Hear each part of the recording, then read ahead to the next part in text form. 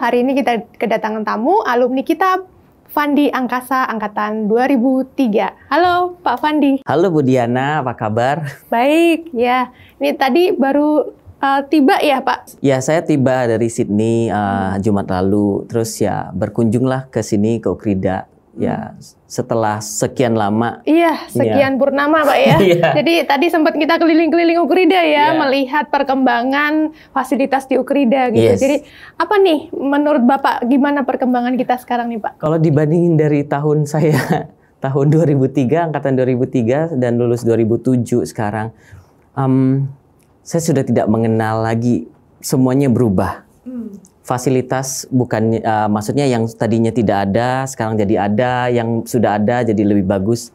Ya amazing, uh, makanya saya bilang wah berkembang pesat sekali Ukrida ini. Sampai ke Sydney kalau kita tanya sama ibu-ibu, ya banyak yang udah tahu ya tentang Ukrida. Hmm.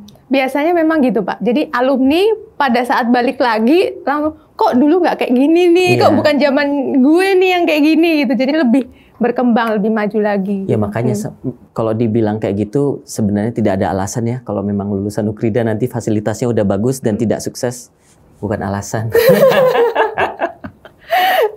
Iya, boleh diceritakan Pak kesuksesan Bapak? Jadi uh, saya waktu di Ukrida sebelum lulus saya bantu-bantu lah magang di uh, perusahaan digital printing di tahun 2007 Terus kemudian saya itu uh, langsung masuk ke bank di manajemen trainee.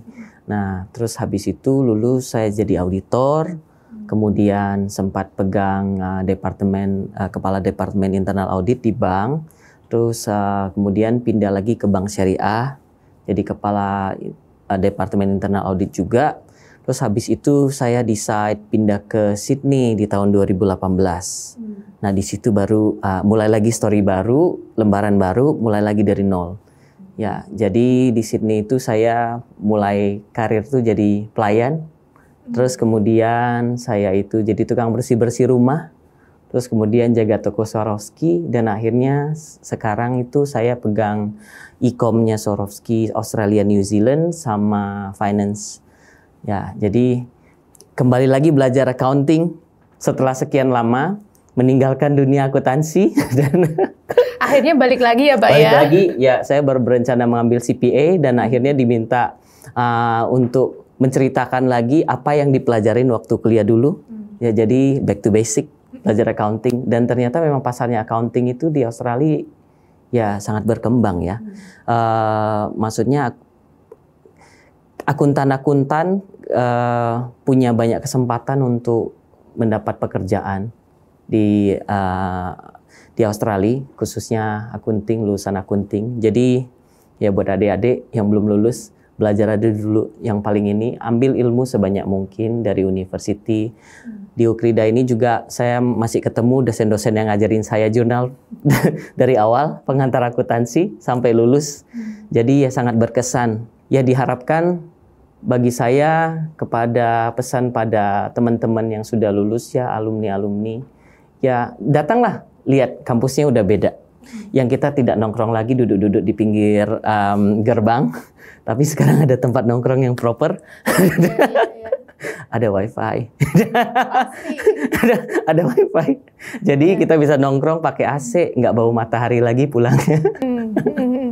Kalau menurut pengalaman Bapak ini kan tadi banyak pengalaman Bapak dari yang bank, ada kemudian auditor gitu ya, sampai yang hari ini gitu mau ambil CPA Australia gitu ya.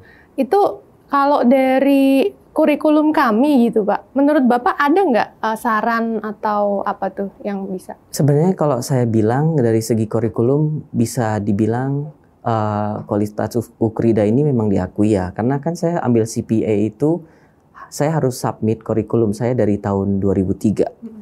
Jadi dirasa kurikulum yang saya dapatkan waktu zaman di 2003 sampai 2007 itu itu sudah paling nggak bisa melewati level uh, foundation di CPA, which is kita lulus bachelor degree sudah bisa lewat uh, level foundation. Jadi saya rasa ya bersaing ya kurikulumnya ya.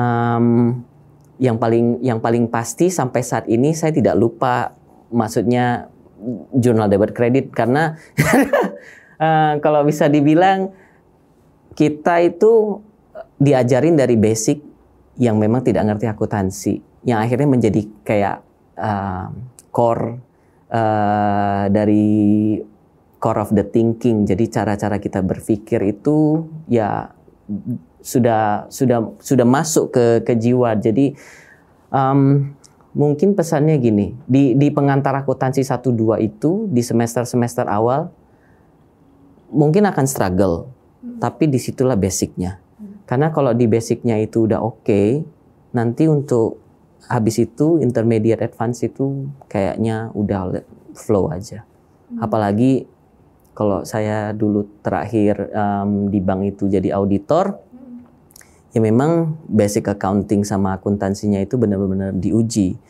Apalagi kalau kita menganalisa laporan keuangan yang pastinya kan kalau kita namanya menganalisa kan harus ada memberikan opini kan, harus memberikan uh, bisa fight sama yang memproduksi dari laporan keuangan itu. Jadi ya bersyukurlah saya dapat basic yang baik dan dapat pengajar yang sabar karena saya juga bukan anak yang baik-baik waktu di kuliahan.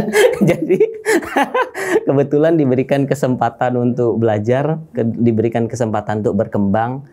Ya kayaknya harus tetap menyuarakan gini. Zaman dulu kan kita selalu ingat orang tua pernah bilang, kamu cuma disuruh belajar aja bukan disuruh cari kerja. Hmm. Jadi ya manfaatkan waktu itu belajar, ambil ilmu sebanyak-banyaknya.